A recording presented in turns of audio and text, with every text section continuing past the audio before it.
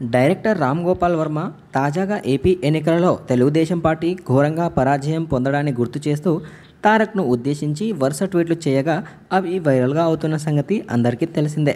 ఈ ట్వీట్లలో టీడీపీ పగ్గాలను జూనియర్ ఎన్టీఆర్ చేతికి అప్పగించాలని రెండు వేల పంతొమ్మిది ఎన్నికలలో జరిగిన ఈ ఘోర పరాభవాన్ని ప్రజలు మర్చిపోయేలా ఆయన మాత్రమే చేయగలరని సూచించారు. టీడీపీని తిరిగి నిలబెట్టే సత్తా కేవలం తారక్కి మాత్రమే ఉందని తన తాత పట్ల ఏమాత్రం గౌరవం ఉన్నా ఎన్టీఆర్ వెంటనే టీడీపీ పగ్గాలను చేపట్టాలని ట్వీట్ చేశారు వర్మ. చివరిగా చేసిన ట్వీట్లో తారక్ నిన్ను అభ్యర్థిస్తున్నా.